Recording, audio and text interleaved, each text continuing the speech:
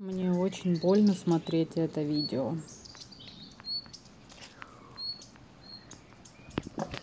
Пожалуйста. Кристина, вот он слепой. Я не знаю, сейчас. Его, походу, сбила машина. Нос? Нос. Все прелести жизни. Покажи глаза. На том конце девушка вся в слезах. Пожалуйста, Кристина, помоги. Кота, наверное, сбила машина. Я не знаю, что делать, куда его вести. Пожалуйста, возьми его на кураторство. Изначально мне прислали вот это видео, и здесь сложно что-либо рассмотреть, и мне казалось, что мордочка просто отекшая, и глазки все-таки есть. Ну, так казалось. Непонятно, не видно. Но потом на приеме, куда его все-таки отвезли, оказалось, что нет. Я попросила отвезти его в клинику, ему сделали рентген, и тут мы ужаснулись. Две пули в голове, и они очень странно расположены. Подозрения были, как они туда попали, но врачи изначально говорили, что нет, скорее всего, такого быть не может. Одна пуля была в груди, но она ничего не задела и ничему не мешала. Так получилось, что из-за Коть мне тогда пришлось приехать в клинику вечером. Мы с Коть были утром, ставили катетер, но его плохо примотали. Точнее, примотали высоко, и он слетел. И я познакомилась с малышом.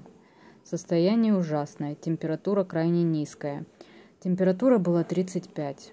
Он лежал на грелочке и пытался согреться. Тот день шел дождь, и действительно на улице было очень холодно. Я надеялась, что он именно замерз, что мы еще поборемся, что мы с ним будем сражаться за его жизнь и обязательно победим. Но то, что я видела, меня очень пугало. Он не реагировал, он лежал, уткнувшись вниз мордочкой, и ему было очень плохо, хотя обезболивающее, конечно же, укололи. Как мне сказали врачи, все необходимое, что возможно было сделать для малыша, сделали.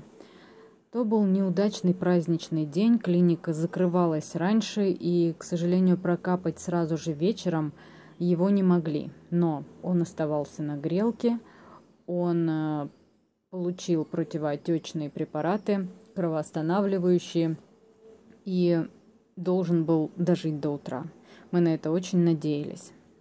Забрать его домой было совершенно нелогично. Забирать кота в квартиру, где есть вирусы, вот в таком состоянии, в котором он находился, это могло его просто добить.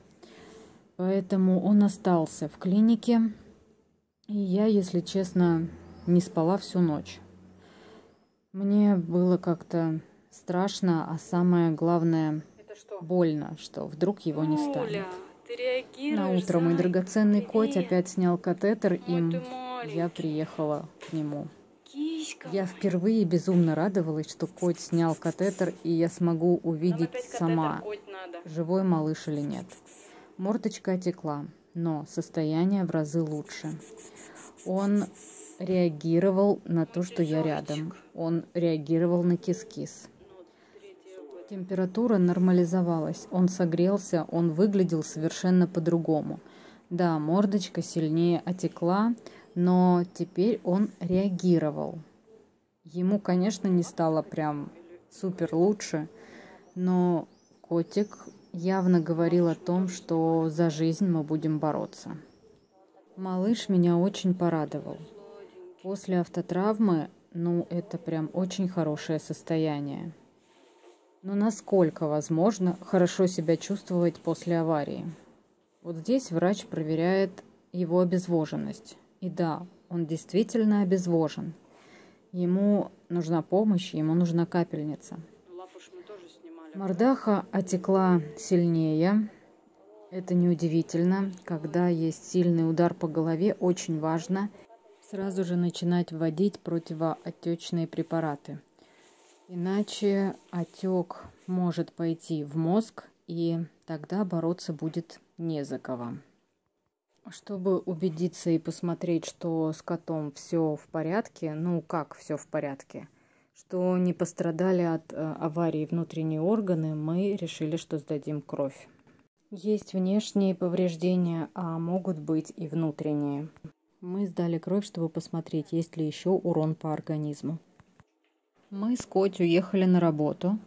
На следующий день я позвонила в клинику уточнить, как мой малыш, на что мне сказали, что ну, как-то отек все сильнее. А, ну вот сейчас добавим капельницы, в смысле. То есть капельницы должны были начать делать еще вчера. А так и не делали. В итоге я отправила кота в Ставрополь.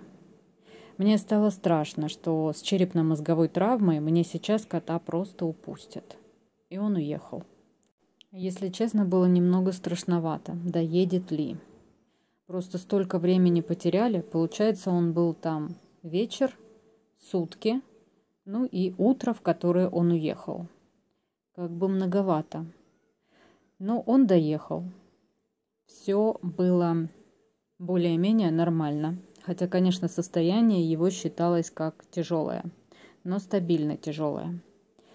Вот так его пытались изначально кормить. Вредничает, не хочет, брыкается, да и вообще в одиночку накормить кота – это еще то приключение. Но вы посмотрите, как упирается. Ну, для кого как, а для меня это шикарное видео, потому что парень-то боевой, а нам это и надо. Нам нужна вся сила, нам нужна вся борьба, чтобы победить с тем, что произошло. А вот как уложить в голове то, что произошло, я не знаю. Ведь на самом деле страшно не то, что кот попал под машину. Это уже как бы последствия. Страшнее то, как были расположены пули в его голове. Я обратила на это внимание сразу, но врачи всем не говорили, что нет, я ошибаюсь. То, как почти параллельно расположены пули, очень наталкивало на мысль, что стреляли в глаза. Входных отверстий не было видно, но их не было видно и в груди. То есть произошло это не именно сейчас. Сейчас произошло то, что слепой кот попал под машину, и поэтому на него обратили внимание. Но не было видно шрамов. На мордахе, мне кажется, они должны были быть заметными. Это на теле они бы закрылись шерстью, но на мордочке они явно бы выделялись, и их можно было бы увидеть. И вот сегодня, после того, как была проведена операция, после того, как мы должны были убрать остатки глаз, которые там в глазницах были, и зашить его глазки, после этой операции для нас открылось очень много ужасного. Как назвать человека, который способен держать кота и стрелять ему в глаза? Возможно ли вообще назвать его человеком? У него в глазах, точнее в одном глазу пуля застряла, а другой прошила насквозь и застряла в кости, в глазнице. Что нужно иметь в голове, чтобы это сделать? Это делалось не на расстоянии, а прям в мордочку. По-другому попасть просто нереально. Какой мозг и что в этом мозгу должно быть, чтобы такое сотворить? У меня это не укладывается в голове. Операция прошла нормально. Сейчас малыш отходит от наркоза. Я надеюсь, что в дальнейшем нас ждет только нормальная, хорошая жизнь. Для того, чтобы довести его лечение до конца, мне, конечно же, нужна финансовая помощь. А также очень важен лайк под этим видео. Очень важны комментарии и, конечно, просмотры от и до. Мне важно, чтобы эту ужасную историю увидела как можно больше людей и сейчас помогли нам восстановить этого малыша. А в дальнейшем мне очень важно, чтобы его заметила его семья. И, может быть, именно ваш лайк поможет ему в этом.